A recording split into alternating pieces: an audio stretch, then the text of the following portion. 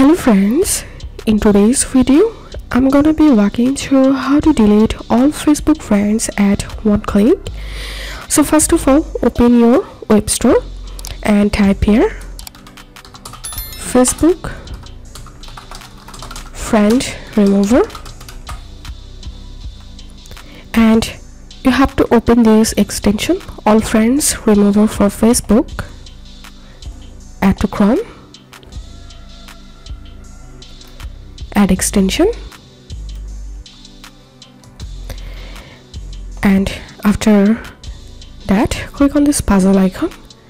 And from here pin the extension and open your facebook and open your facebook profile. Click on friends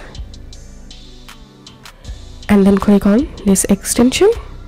Click on step 1 and right now I don't have any friends on my profile. So after opening your friend list here you have to click on this extension again and click on step 2 unfriend all. So after clicking on this step 2 your all friends will be unfriended.